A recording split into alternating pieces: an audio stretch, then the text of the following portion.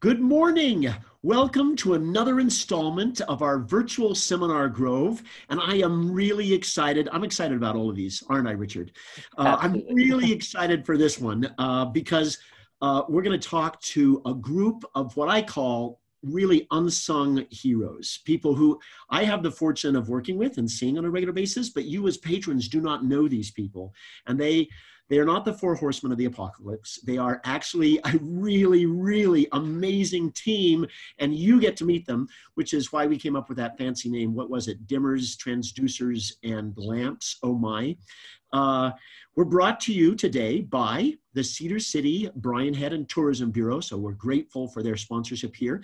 We would like you to ask questions via Facebook. You can do that. And we'll get to those in about uh, 40 minutes. But until then, we're going to have a beautiful conversation. Who have we got here, Richard?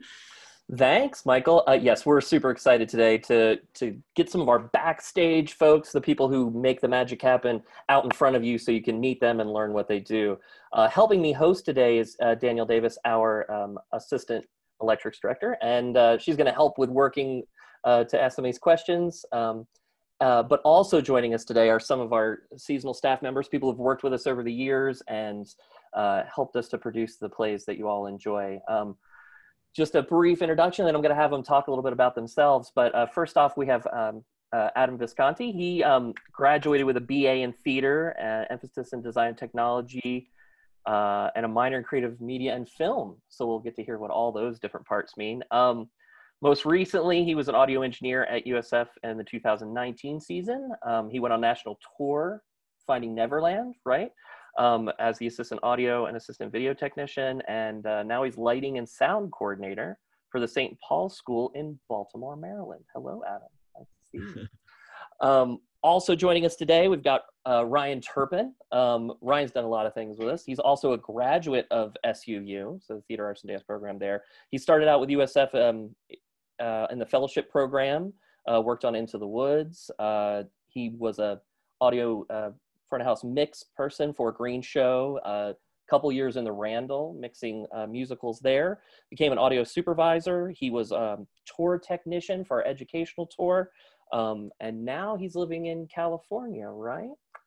Um, welcome. Nice to see you, Ryan. Yeah. And also with us is Kate Morton. Um, Kate, uh, Kate was, uh, she works as a master electrician and sort of tour lighting designer and uh, technical director, right? Um, graduated from Stephen F. Austin State University in 2016 uh, with a Bachelor of Arts in Technical Theater. Um, started at the festival as a lighting technician and through the seasons became crew chief uh, in the electrics department. Um, thank you, Kate, for being with us today.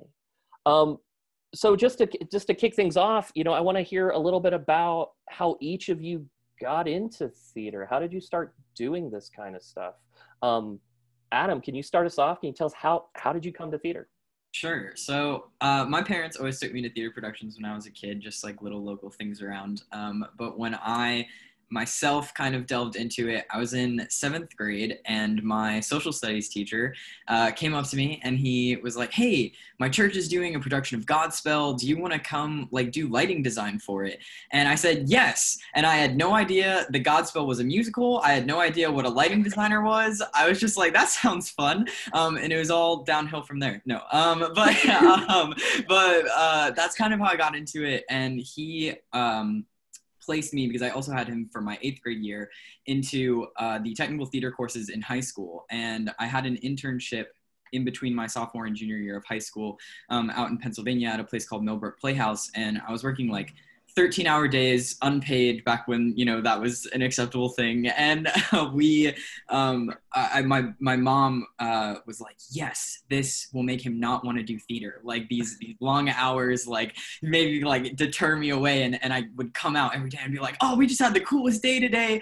Um, and that was kind of my first exposure to like oh this is something i can do for the rest of my life. Um, so that's kind of how i, I slipped in Thank you. Yeah, I, you know, it's funny how how many folks go.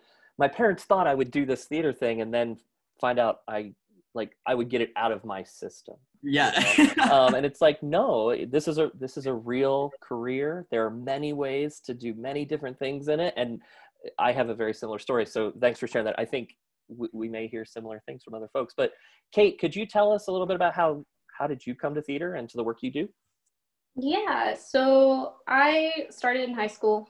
I was in the intro to theater class, ninth grade. um, and sports didn't really appeal to me as a person. So I ended up going to the after school theater activities while my parents were at work. And we did everything. We were a small high school, so everyone did all the things. Mm-hmm. Um, but when I first went to college, I definitely tried to go into nursing. Made it one year and went, I'm miserable. I started taking theater classes again. I was like, yep, this is this is what I'm supposed to do. And so starting at community college and then going to SFA, I kind of narrowed myself down and found that I really liked lighting. And I've just kind of been going ever since then on that path. cool.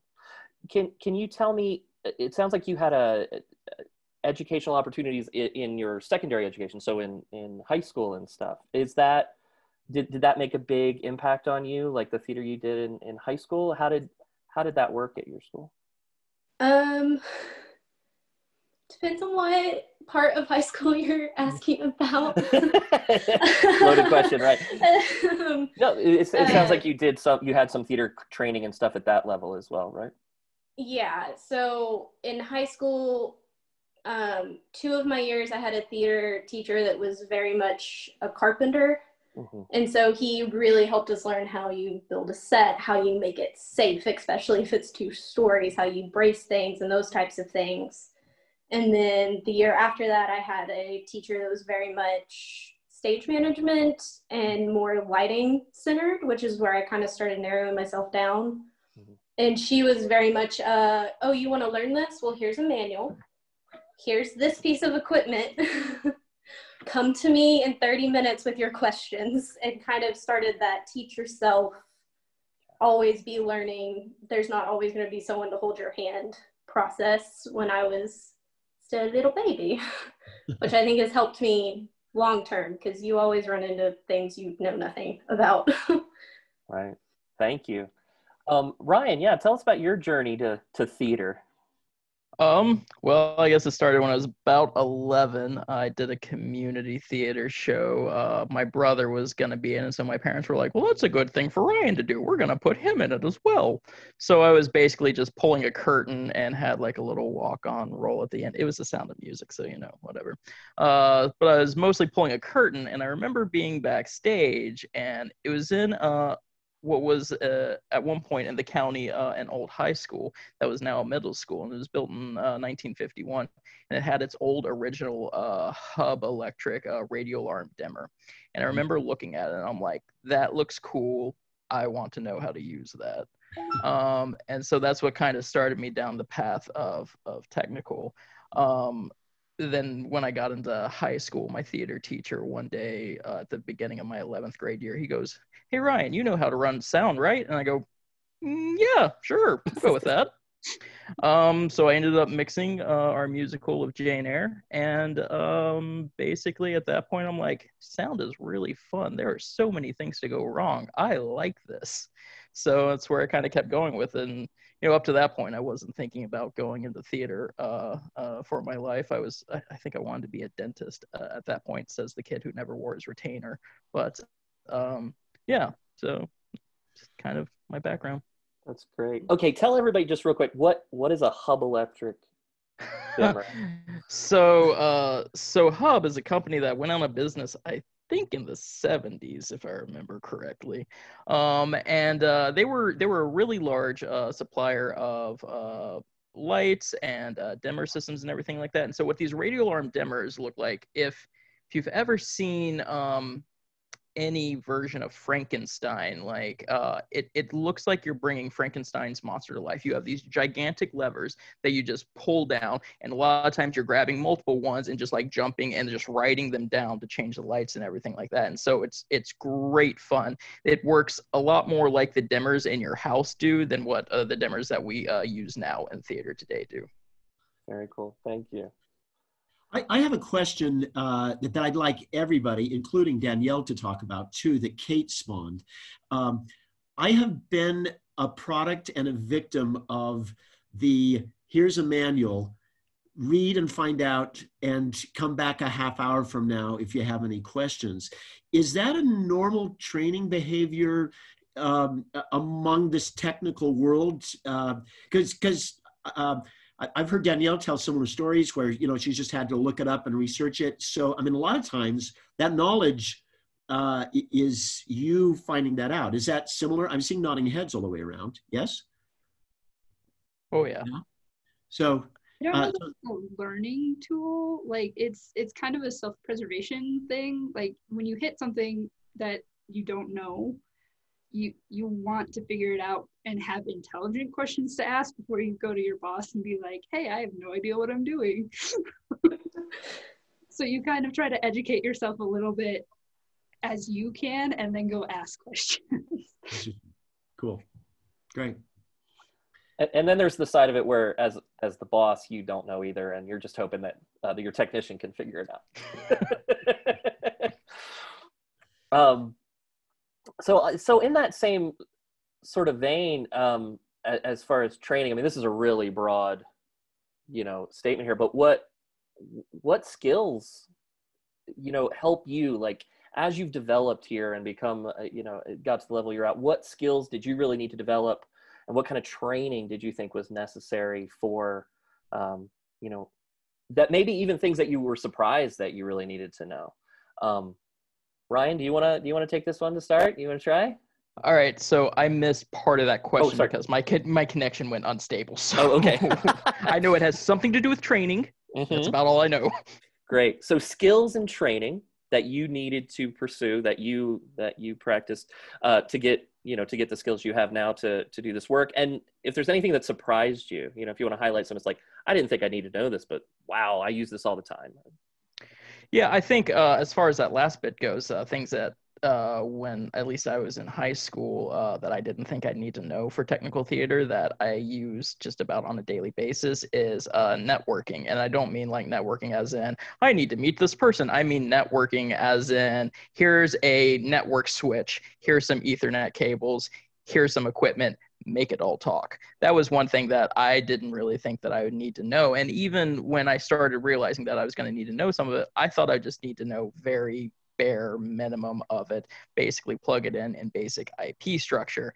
And then when uh, I was there for the opening of um, all the um, uh, yeah the Engelstad and the Anes and everything like that, then when that came about, um, there's a lot of information learned real fast about uh, networking because there was just there were things that we were doing that no one had really tried to do before that was theoretically uh, possible for our equipment. But you know, even when I was having to talk to engineers at Shure and Yamaha and everything like that, I would say, "Hey, we're running into this," and they're like, "Yeah, we don't know because no one's really done it before. So good luck." And it's like, "Cool, thanks." So basically, there's a whole lot of sitting down with me and um, one of the campus uh, IT guys, uh, and we were just kind of going through trying to figure out, you know, trying to find out what worked, what didn't work, and what we needed to talk to Yamaha about fixing.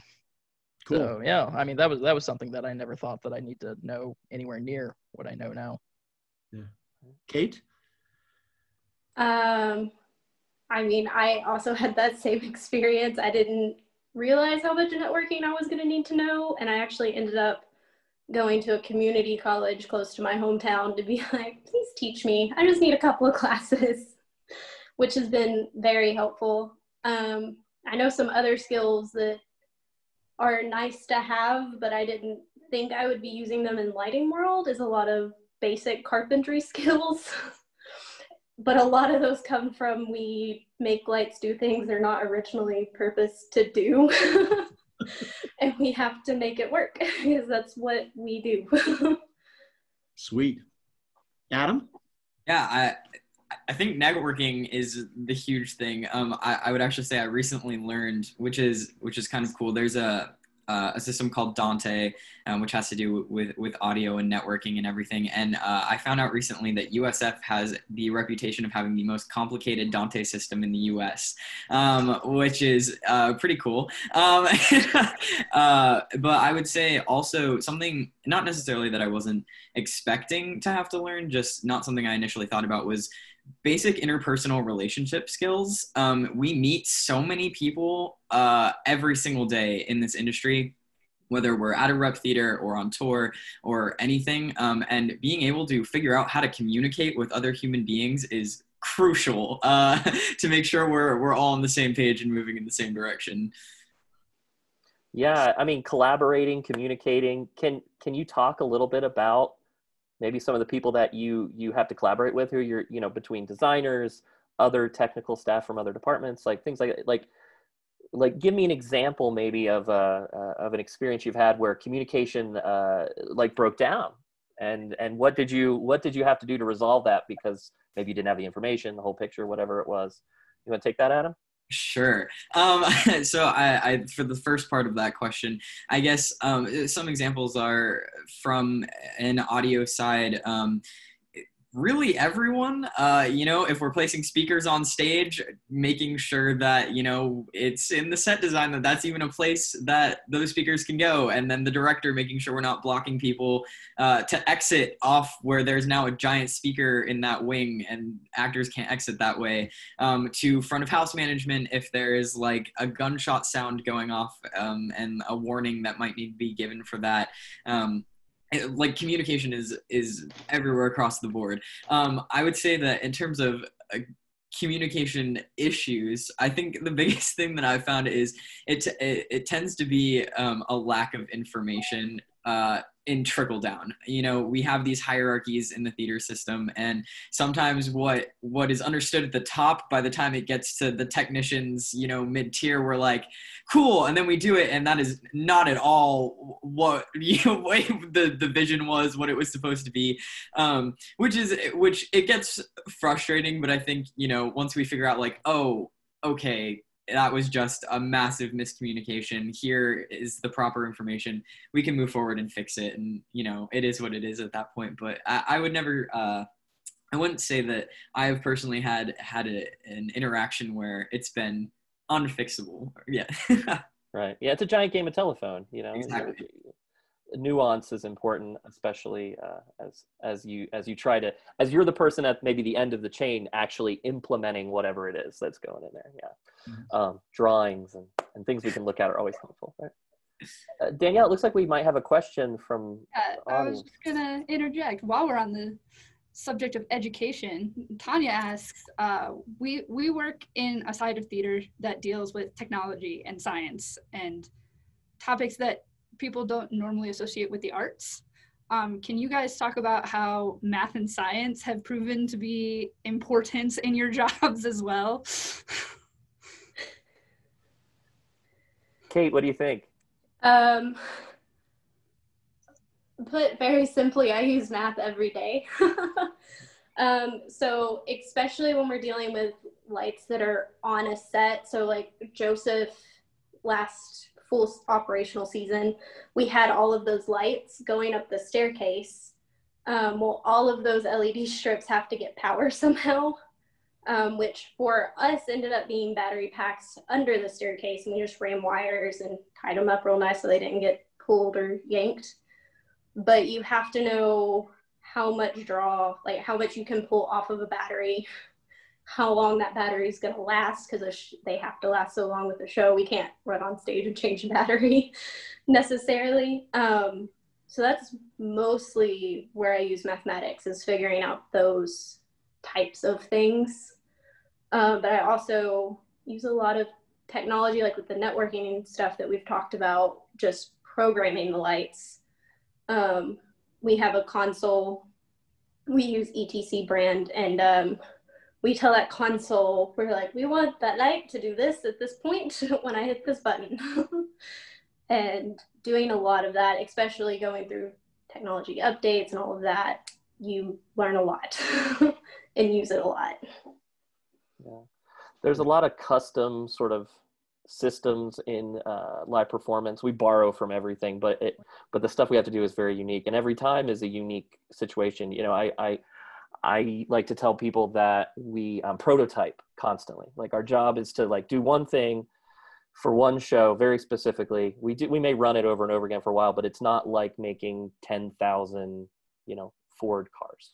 You know, we don't get to perfect it to that point. So we have to we have to be nimble and a lot of problem solving. And every time it's a lot of um, a lot of the stuff you're talking about, Kate, where it's you're you're determining that you're constantly looking at things and making adjustments and um, and try to keep it going. Um, I want to back up just a little because, um, you know, it's so, it, it, there's so many things that go into the work that you all do and just giving people a sense of like what like what you're responsible for what your job title even means when you're doing things like i don't know like it, it, it can be very daunting so I just, you know, given a given maybe one job that you've performed uh, with a festival, let's say, just like what's the scope of the stuff you did? And and uh, Ryan, I want to, I want you to hit, if you would, first, what is what is mixing a show, and what does that mean to sort of be uh, in charge of, you know, front of house mix or, or or whatever? Can you can you talk about that those positions?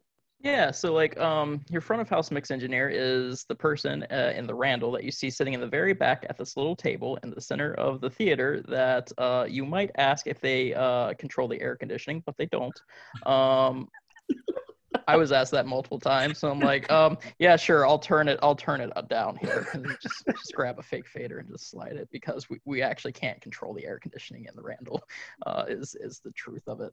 Um, I probably should have said that. Anyway, um, so so what you're doing is you're actually uh, you're controlling the levels uh, of everything that uh, people are hearing, and to some extent, uh, some of the frequencies. We also tune microphones because you might think that you put a microphone on somebody and um, it replicates them perfectly uh, every single time. That is not anywhere near true. Um, it doesn't even uh, act the same between actor to actor. I had one actor in Green Show when I mixed that uh, that uh, he was just it was impossible to get his microphone to sound uh, completely natural. And he's a really good actor. He's uh, since been on Broadway and uh, and uh, countless things and been on large national tours for very big productions.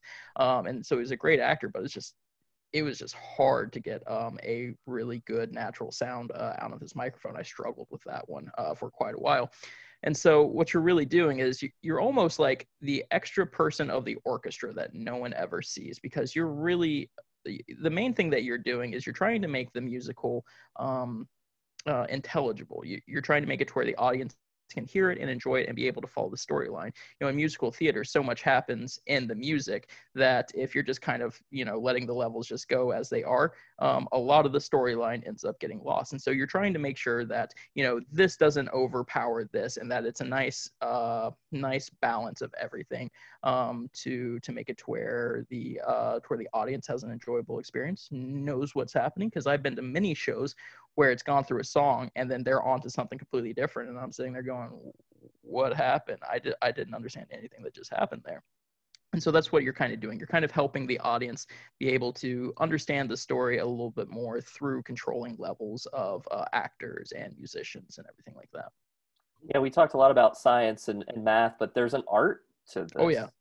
you know? yeah um uh, i used to i used to think uh, a long time ago like uh, mixing came pretty naturally to me, and I I think a lot of it was because um, I I was in band uh, in high school, uh, played trumpet uh, for seven years of my life.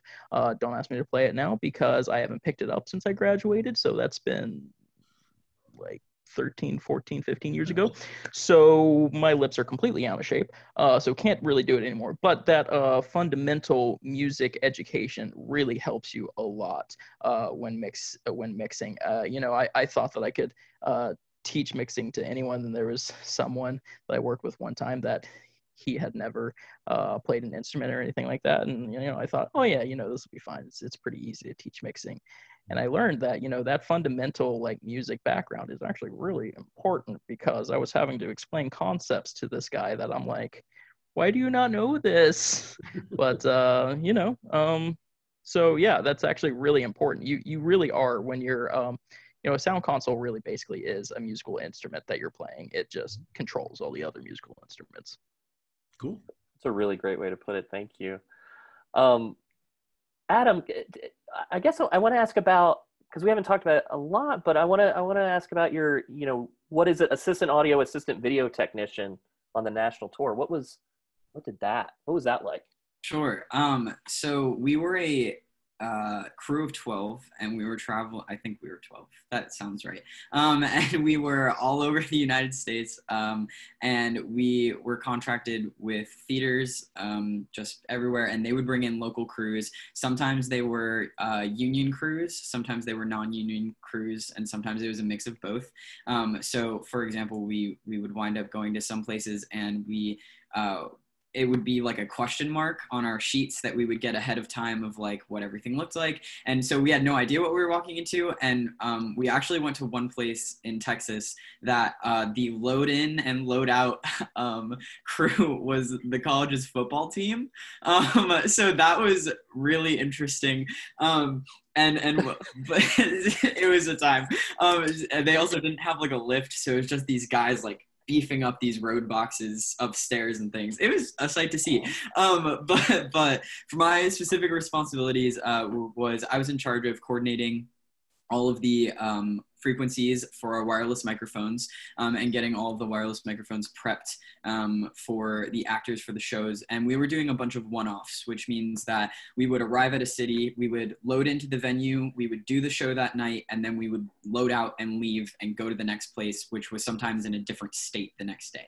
Um, so it was a very fast process. Um, and it was me and my uh, supervisor, I guess, uh, and his name was Sam. He was the A1, I was the A2. Those were, you know, official titles. Um, and then we had the master electrician and then the E2. And so um, the E2 and I were both assistant video. So depending on how load-in was going that day for lighting versus sound, um, one of us would take over setting up everything for video because uh, the show that we were doing was Finding Neverland. And so there were a lot of projections um, that were being used. So we had two projectors that had to get set up um, and kind of scoped out and everything and figuring out how we were going to configure them for that day.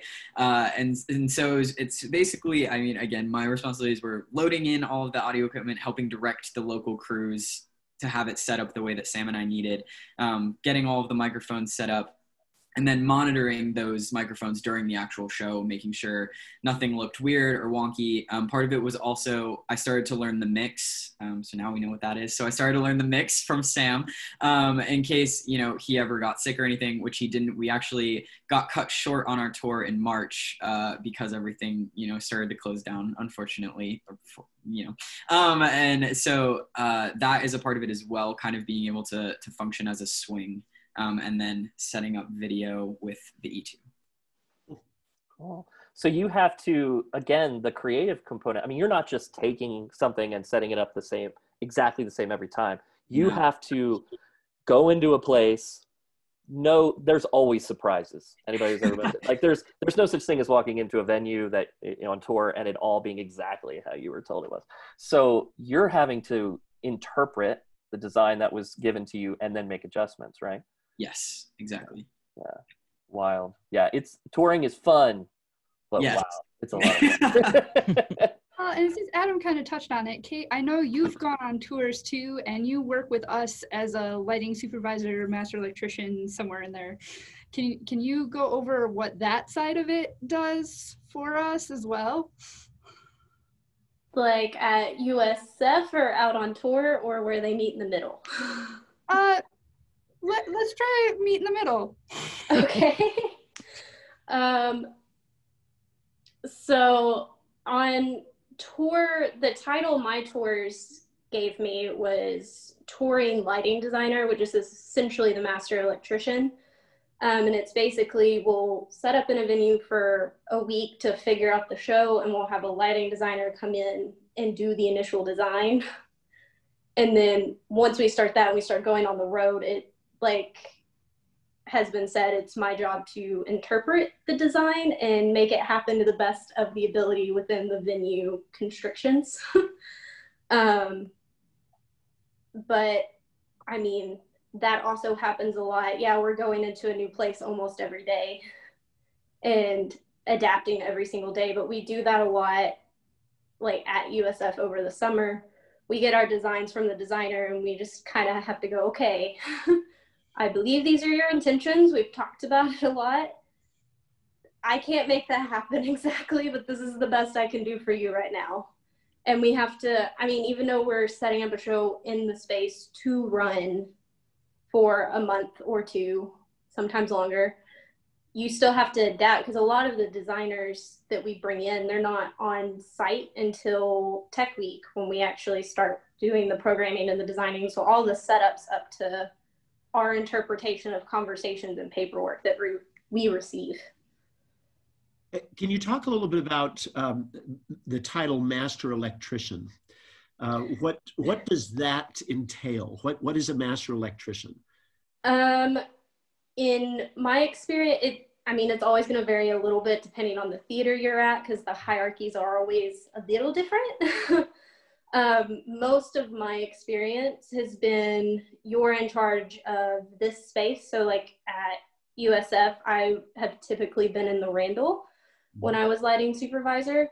Um, and it's Danielle and Scott kind of would give me like, here's your plot where we think the light should go. Here's all of this. And then I format a lot of paperwork for the technician so they can understand and then kind of act as a crew leader to make sure that everything needs to happen actually happens. Lights get hung plugged in told what they're going to be um, make sure that any type of special effects we're doing, like the again the lights that were on the stairs of Joseph, make sure that happens and that's actually working, and kind of delegate accordingly depending on the crew that I have. Um, and it's so yeah, it's kind of like that step between the supervisor of the entire department and the individual crews for each space to make everything happen. Good. Cool. Yeah. Cool. Um, so I want to I want to talk a little bit about the process for you all and and maybe you know some personal feelings about like what's your what's sort of your favorite part you know we talked a little bit about what you're what you do but what part like really really energizes you in the process um ryan you, what what are your thoughts about that um, I think my favorite part, honestly, what really energizes me is trying to figure out something that hasn't been figured out before. Um, which we did a lot at USF. Um, it, it, was a whole lot of, you know, we want this thing to happen. Figure out how to make it happen. It's like, uh, okay, sure, we'll go with that.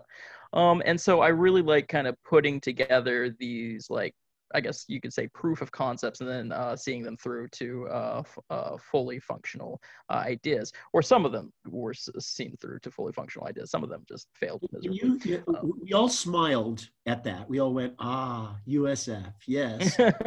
but, uh, and the sacred world of technicians, everybody knew what we were talking about there, but a patron's going, why did they all smile at that? So are there any examples of, hey, figure this out, and we don't know how to do that? What, uh, especially with the Engelstad, for example, and other things?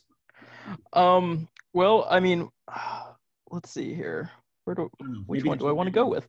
Um, so the Engelstad was a very I, I was there for the opening of that. Um, I I, I uh, was one of the few people that have the uh, uh, ability to where they worked in the Adams and they worked in the Engelstad, uh, and which, which which is pretty uh, fun. You know, I can uh, say that. But uh, and they were very very different systems. We we took a large technology leap forward uh, between uh, the adams and the Engelstad and so there was a whole lot of figuring out what to do but i think the thing that made it the hardest was that the Engelstad was designed one way and it was it didn't seem like it was really designed with theater in mind the audio system. It seemed like the person who originally designed it kind of designed it for a we'll call it a presentational type thing. It was basically kind of meant for like a speaker just standing in front of you talking about stuff is what uh, the audio system was kind of designed for.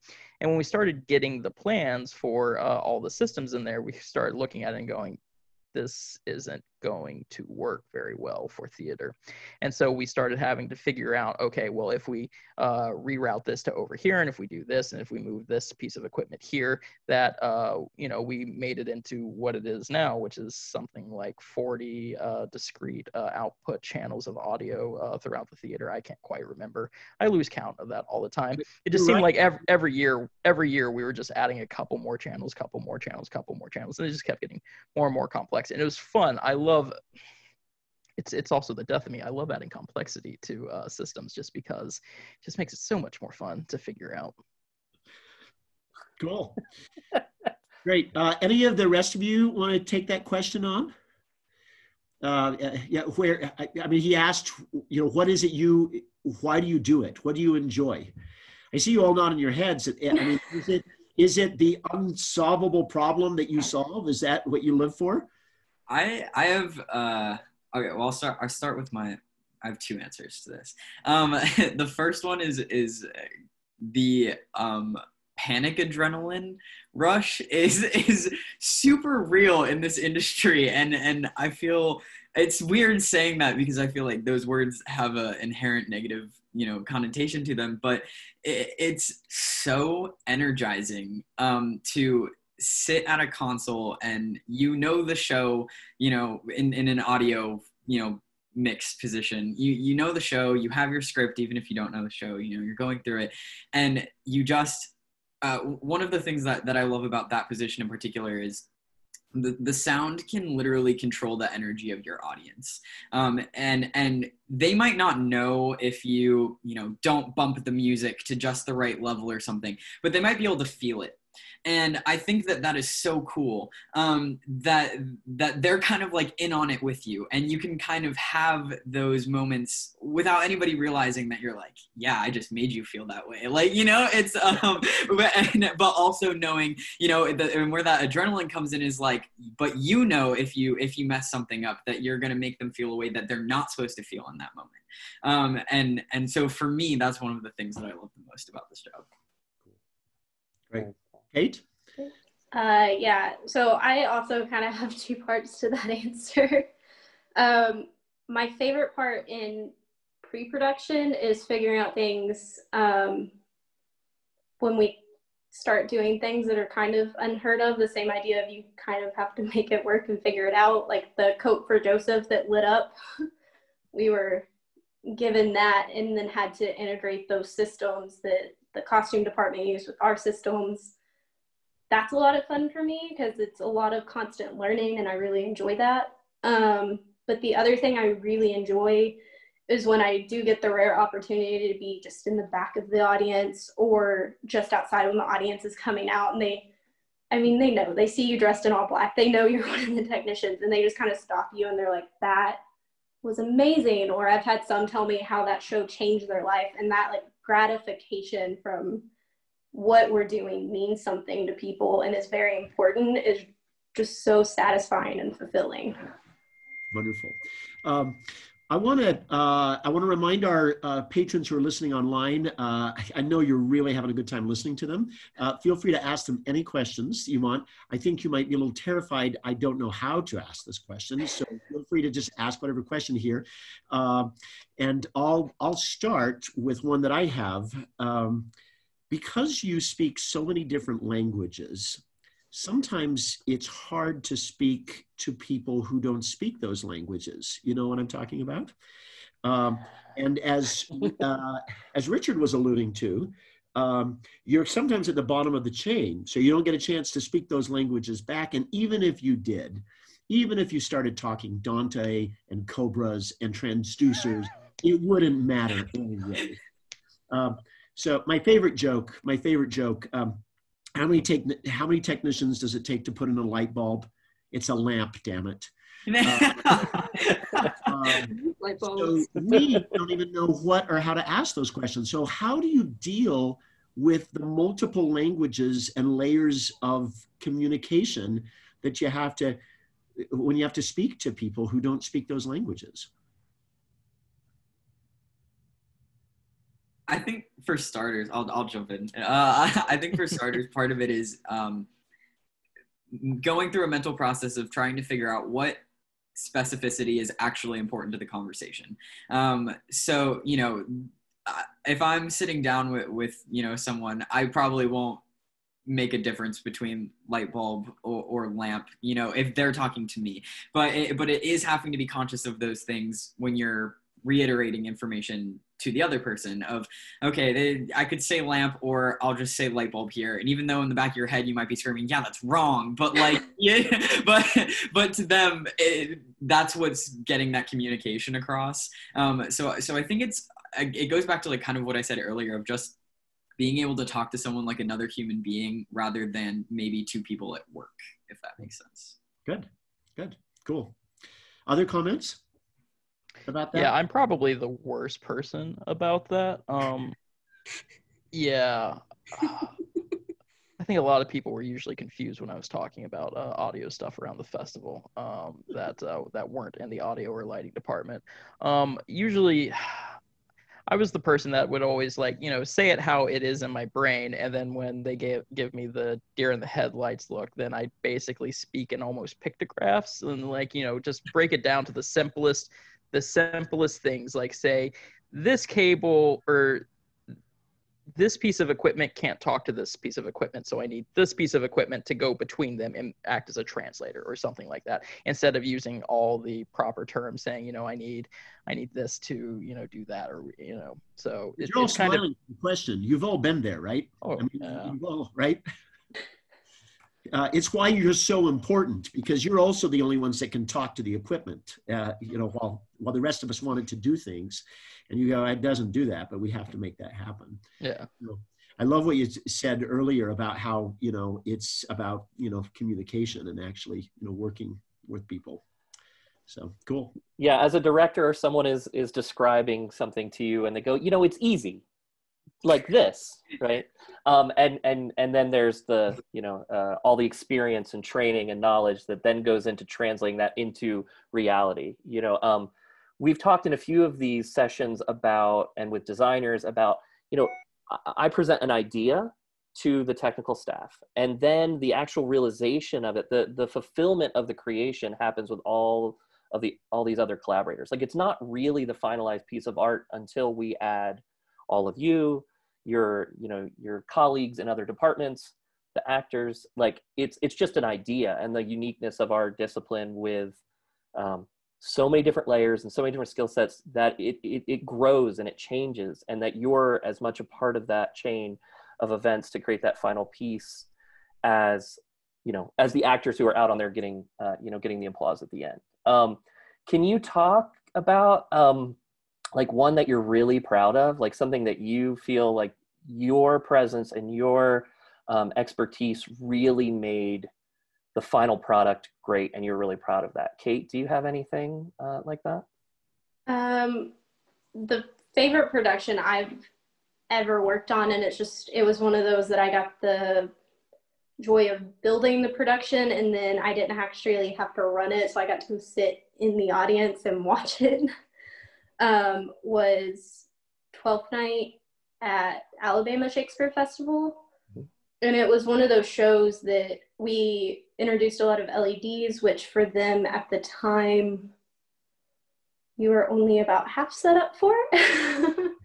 um, so there was a lot of learning curve on doing where you're making one piece of equipment talk to something it doesn't really want to talk to.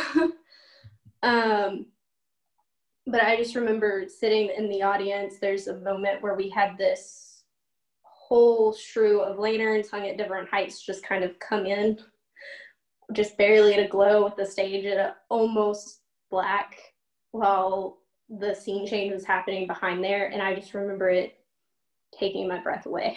so yeah those moments still happen even with all the theater all the dark rooms we sit in you know you, you live for those. I always i always say like if every 10 or 15 shows i get a little get that little moment it, it sustains me. So it's nice to hear others have those have those moments too. Um, do we want to talk a little bit about training um, and sort of like if you rec what would you recommend to people who want to try and as michael barr has put it become you be Adam, Ryan, or Kate?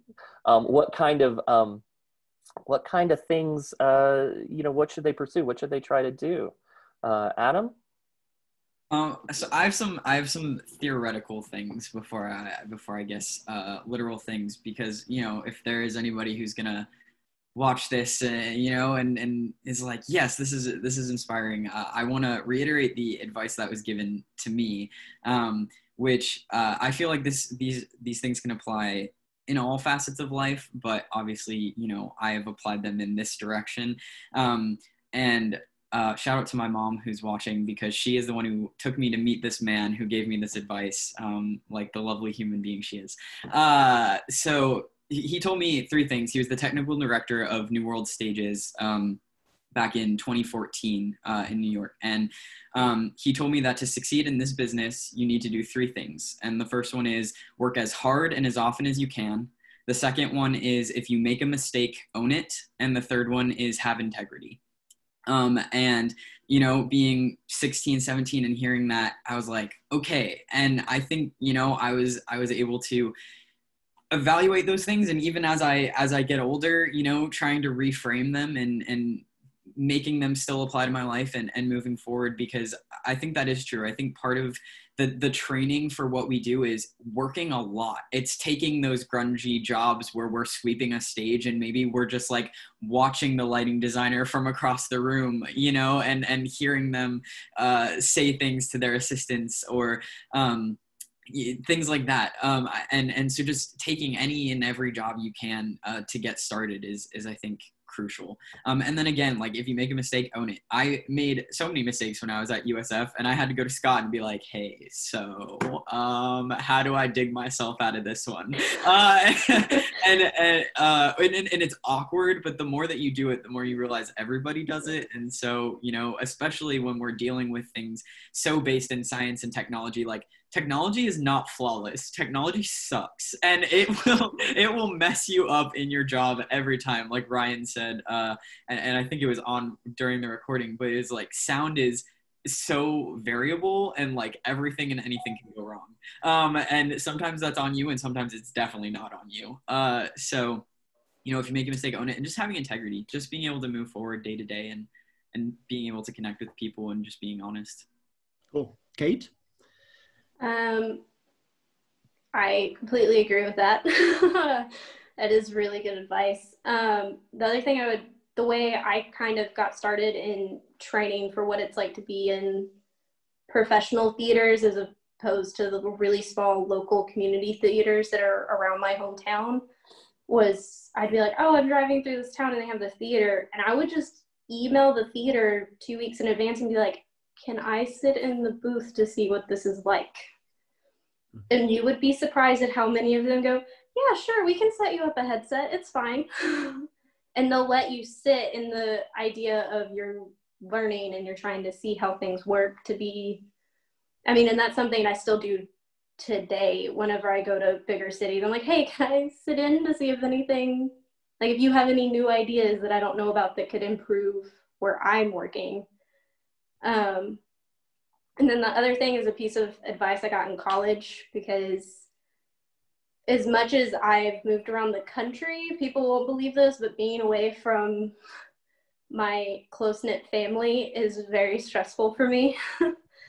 um, but you can do anything for three months, which is an average summer contract. So if you want to jump in and try and do it, it might be awful, it might be wonderful, but you can accomplish anything in three months if you just put your mind to it and work hard.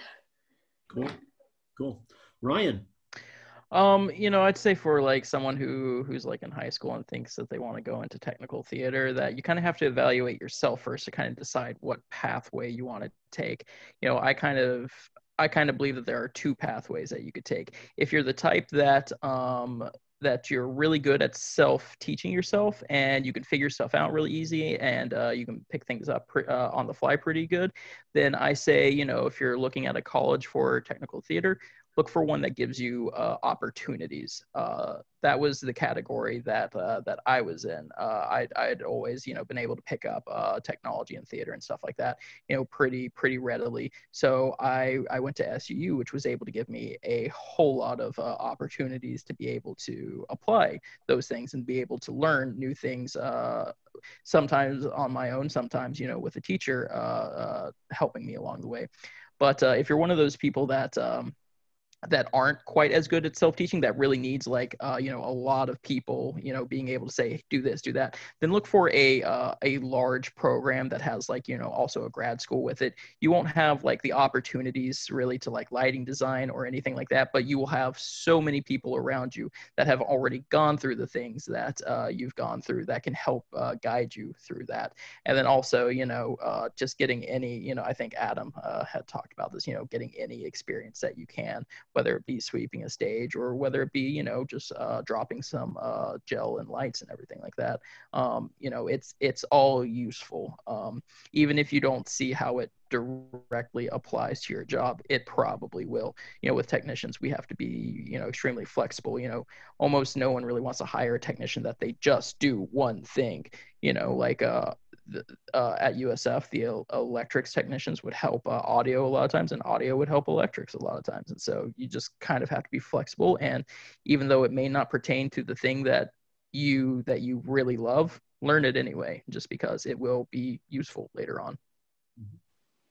And I'd just like to like interject on that is being willing to hop into other department, like our electricians being able to jump onto sound and help them really fast speaks a lot to character, which in this field will actually get you a lot further than knowing everything. Like just being willing to go do that grunt work to help someone out, it it follows you in a very good way. Cool. Danielle, you were you had something? I was just gonna say, I mean, I agree with everything that everybody is saying. Um, but I have also found that a part of training that I I personally wish that I had gotten more of before I got into the personal world or the professional world is um, just intercommunication between people. Like it's a very common misnomer that all of us are super antisocial and just want to live in our own bubble and whatever. And while that's can be true and we need more space than other people, I have never walked into a theater where a crew was working and everybody wasn't having a good time. Um, so it's it's very important to also think about developing your ability to communicate and uh, just work with other people and you just do that by working a lot mm-hmm. yeah there we've we've i think that's important this this idea of being exposed to a lot of different things that you all have touched on and the um, as collaborators learning interdisciplinary information you know understanding uh, just like we talked about the training being broad, having a musical background, having uh, science and math, having communication skills, understanding the work, and being a, you know an artist and an artist advocate in your own right, and understanding the content that we create is going to make you better. And, and this has come up before in, in other seminars where it's just like just learn as much as you can as a human being. I mean, you're a you're a citizen artist, to borrow a term, uh, and being and understanding everybody that's working around you and that community you know chipping in when you're uh, when somebody's down and you need to help maybe uh, push the giant scenic element that blew out a caster or or whatever it happened to be you know coming together as a community. Um, and i'll lead this leads into another question but like one of the things that's been really hard besides our livelihoods being at stake during this crisis is the community that I personally miss greatly. You know, all of you and being around and us and that energy of a collective art. You know, I admire sculptors and I admire uh, you know uh, portrait artists and painters, uh, but but the reason this discipline was so appealing to me is because of each of you and those those those groups of people.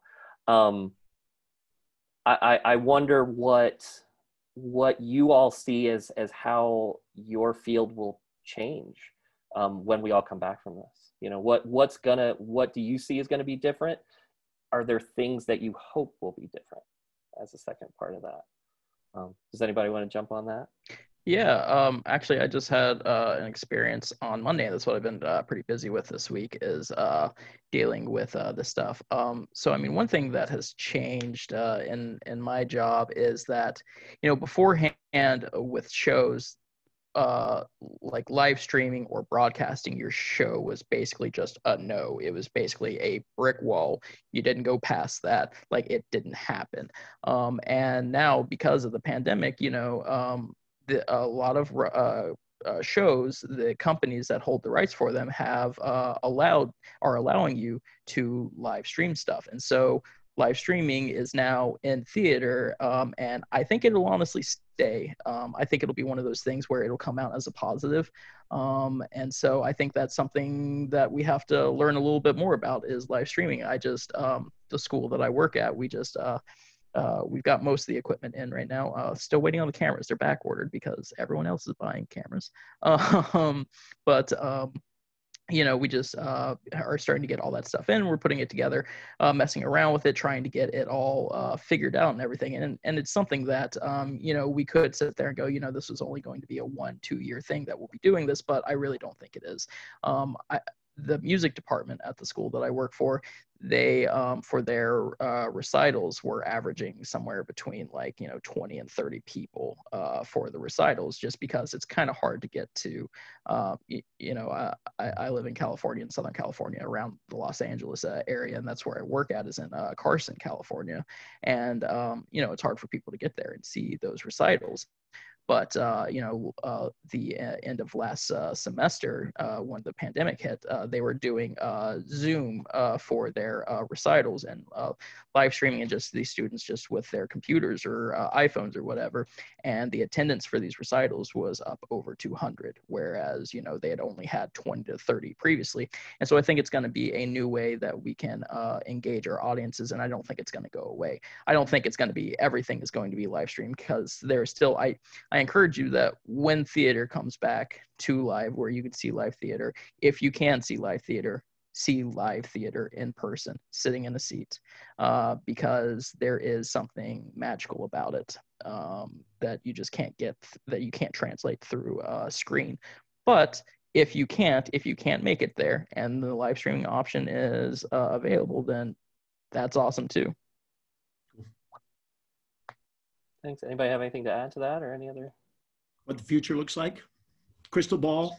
Yeah. I mean, one thing uh, our arts department at, at St. Paul's has been talking about is, is basically this is forcing us to have some sort of new renaissance um, in the art world and that we don't necessarily know what the art that is going to come out of this is going to look like in terms of actual content plays and you know movies and and uh, anything you know along those lines sculptures paintings um, because this is this was just such a, a cultural reset in a way that you know all of our mindsets have changed so much. But um, i definitely agree agree with ryan because you know now instead of you know, grandma and grandpa sending a, a text being like break a leg tonight you know they can tune in from north dakota and and watch the the little musical that that's going on which i think in that sense um, which is so weird uh, because we are so distanced, but in, in, a non-physical way, it's bringing people a lot closer. Um, and and something that I've I've found, at least in my personal life, is I found myself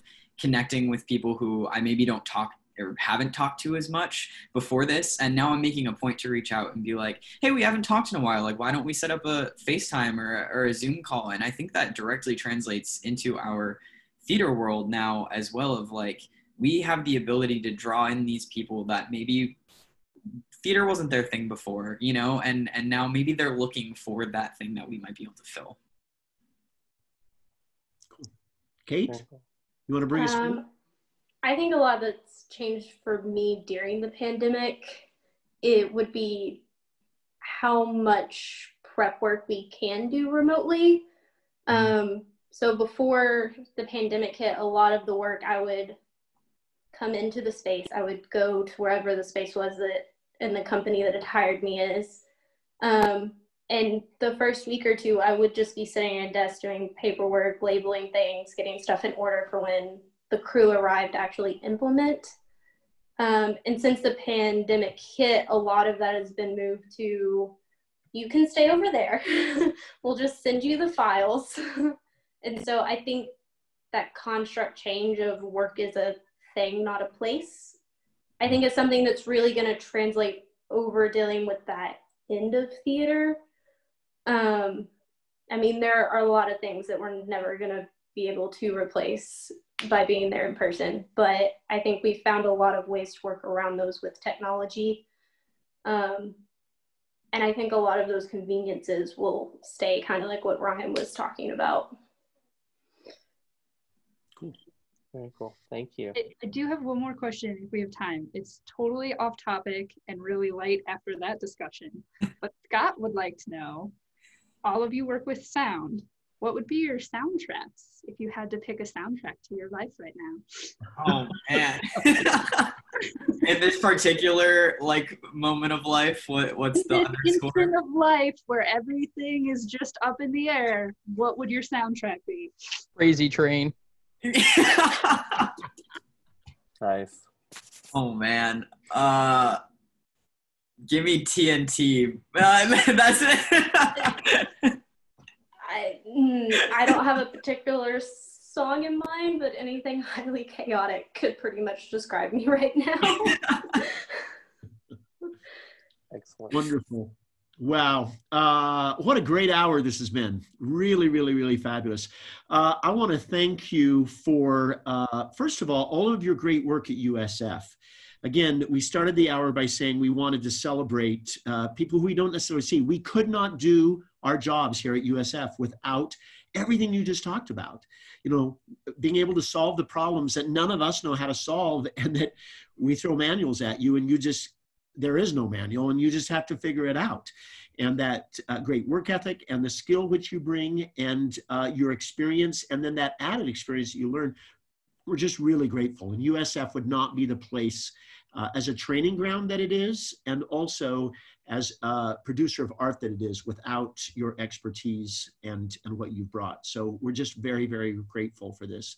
Um, richard do you have anything you want to add before i do our final out Sure. No, thanks, Michael. I think you're exactly right. I mean, I'm I'm so thankful to meet all of you. Most of you. This is the first time I've got to talk to you, and uh, you know, I'm I I know a little bit about what you do enough to be dangerous. Um, so I'm so thankful for each of you uh, that add your part to it. Like I said before, the the opportunity to expose all the layers to our art form and to show people just a little taste of the complexity of your journey and your artistry um, I'm so thankful for it. Thank you so much for joining us. And thanks, Danielle, for helping me talk with them. And uh, your daily assistance with my knowledge gap uh, is I cannot under I cannot overstate the importance of it. So thank you all. Yeah, good.